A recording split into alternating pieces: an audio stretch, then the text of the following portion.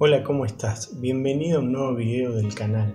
Mi nombre es Facu para los que no me conocen y en el día de hoy vamos a hacer esta sopa crema de zapallo, choclo y cebolla. Lo primero que vamos a hacer para hacer esta sopa es poner a cocinar un choclo. Yo porque los compro en la verdulería que son más frescos y más baratos. También puedes comprar una lata de choclo y usar ese choclo. Pero te recomiendo que compres en la verdulería ya que es más barato y queda mucho más fresco y más gustoso. Así que ponemos a cocinar esto. Esto es cuando levanta hervor, apagamos el fuego y ya está. Una vez que el agua de nuestro choclo levantó este hervor, ya está. Lo apagamos, lo volvemos a tapar si queremos, dejamos que se enfríe ahí y ya va a estar cocinado. Una vez que pusimos a cocinar nuestro choclo, lo que vamos a hacer es cortar los demás ingredientes. Tenemos una cebolla grandecita, dos dientes de ajo y un zapallo que más o menos debe tener un kilo 600, un kilo y medio, más o menos. Quizá no lo usemos todo, solamente ahí hasta donde peleé. Lo primero que vamos a hacer es cortar la cebolla como en juliana o cincelado para los que después se me enojan. Vamos a cortar nuestros dientes de ajo. No hace falta que cortemos las cosas muy chiquitas porque después lo vamos a procesar esto. Y ahí en la procesadora va a quedar todo hecho tizas. Así que no es necesario. Lo que vamos a hacer con el zapallo es cortarlos en rodajas más o menos de un dedo. ¿Sí?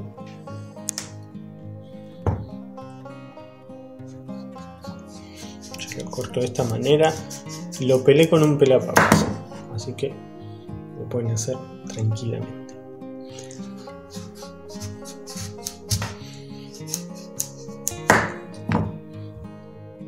Muy bien una vez que tengas todas tus rodajas cortadas lo que vamos a hacer es la vamos a cortar en cubos de la siguiente manera. Cortes ahí más o menos ahí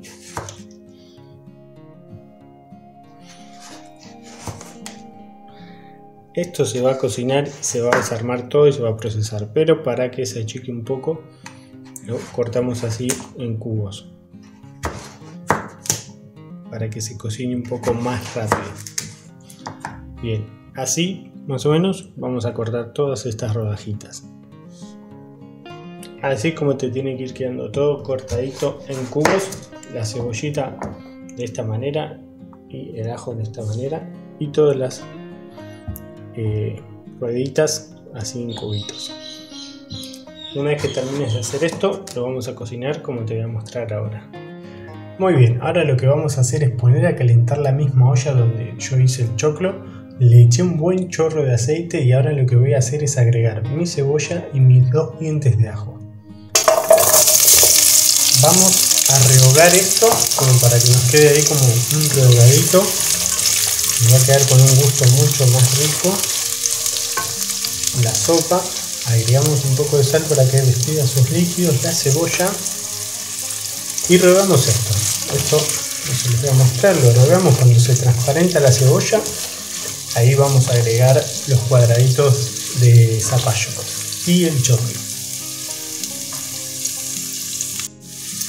Muy bien ya tenemos nuestra cebolla brillante y transparentada Así que ahora lo que vamos a hacer es vamos a agregar los otros ingredientes. Vamos a agregar los cubos de zapallo. Vamos a agregar el choclo. Si quieren que les muestre cómo lo saqué del, marlo, me dicen en los comentarios, no hay problema. Lo mostramos. Agregamos lo que nos queda de zapallo revolvemos un poco esto. Que nada para sacar la cebolla del fondo que no se nos cocine más que no se nos queme digamos.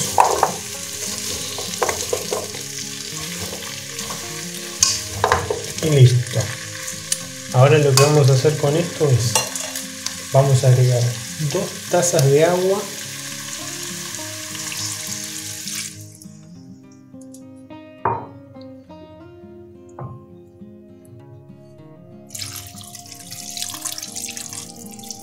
dos tazas de agua cuando veas que el agua, o sea, fíjate que el agua está como ahí, ya se empezó a ver. Porque el zapallo despide mucha agua. Si, si nos pasamos de agua después no nos va a quedar tan cremosa nos va a quedar mucho más líquida. ¿sí? Agregamos un poco de sal acá y acá lo que vamos a hacer es romper un caldito. ¿sí? Rompemos ahí un caldito lo tiramos cuando esto entre en hervor el caldito se va a empezar a hacer ahí. Así que no hace falta hacerlo aparte. Algo de eso si querés lo mezclas un poquito. Y listo. Esto ahora lo vamos a tapar y lo vas a cocinar hasta que se esté haciendo casi como un puré. Te voy a mostrar el punto y ya está. Lo dejas así lo tapas y ahora te muestro en qué punto ya esto estaría listo. Vine a ver mi sopa y veo que tiene bastante líquido. Así que lo que voy a hacer ahora es cocinarlo un poco con la tapa abierta para que vean este vapor y el agua se vaya un poco. Porque más o menos en unos 10-15 minutos esto ya va a estar, así que ya le saco la tapa como para que se vaya un poco el agua. Si te pasa esto, puedes solucionarlo de esta manera. Ahora vas a ver que en unos minutos ya va a estar y va a estar con mucho menos líquido. Bueno, muy bien. Ha pasado media hora y esto ya estaría listo. Fíjense que ahí se redujo un montón el agua y ahora cuando lo apaguemos se va a reducir un poco más cuando se termine de enfriar. Esto ya está listo. Fíjate que ya pincho los cubitos y se desarma, así que ya está. Esto tiene que estar así.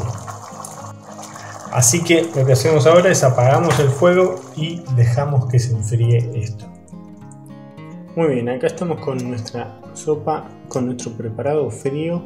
Vamos a procesarlo. Esto lo pueden hacer en una procesadora o lo pueden hacer también en una licuadora si no tienen procesadora. Esto está muy suave así que no necesita mucha potencia. Lo que vamos a hacer es, vamos a ir agregando con, en mi caso, con esta cuchara voy a ayudar. Bien todo el choclo. Voy a poner las cuchillas ya. Una vez que agregamos ahí hasta nuestro máximo de licuadora o procesadora vamos a condimentar ahora. Lo que voy a hacer es voy a poner una cucharada de queso crema. Esto puede ser el que tengan. Un poquito más esto le va a dar la cremosidad, un saborcito más rico. Una cucharada de sal.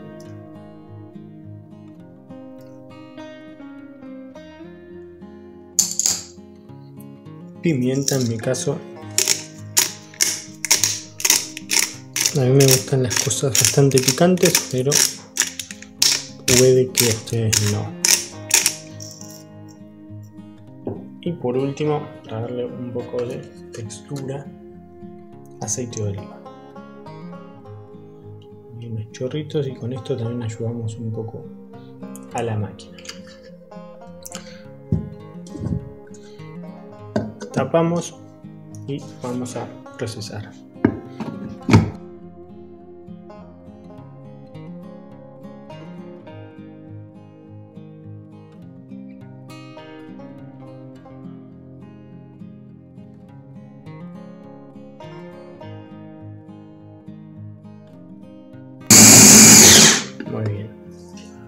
Ya puede llegar a estar.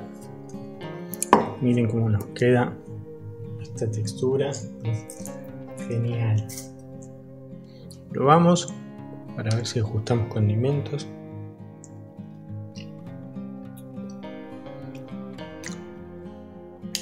En mi caso la verdad que está muy buena. No, espectacular. Ahora vamos a presentar y terminamos de emplatar. Y así nos queda nuestra sopa terminada y presentada con un poco de pimentón dulce o ahumado por arriba que le da un sabor muy rico. Algunas tostaditas para el que le gusta acompañar y algunas hojitas verdes. Espero que les haya gustado el video. No olviden suscribirse al canal, darle un like. Gracias por ver y por estar. Nos vemos en un próximo video.